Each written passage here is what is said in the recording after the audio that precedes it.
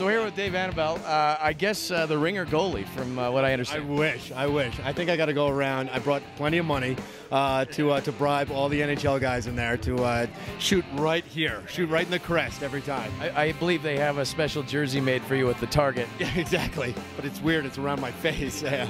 I don't know. Yeah, it's it's really exciting. I mean, obviously, uh, you know, it's such a wonderful cause, and uh, to be here from Luke is it's just insane. And I've, I've grown up a, a huge hockey fan, so this is uh, really sort of an honor for me. And the puck's coming so fast. Wow. So fast. Close your eyes. Yeah, exactly. Trust me, I'll be doing that the entire time. know, come out far, c- decrease the angle, and uh, you know, Yeah, and act like you know what you're doing. exactly. Just, but like I said, if, if you guys get, do get a close up of me when I'm playing, I guarantee you'll be seeing this. Oh my gosh! Oh my gosh! Oh my gosh!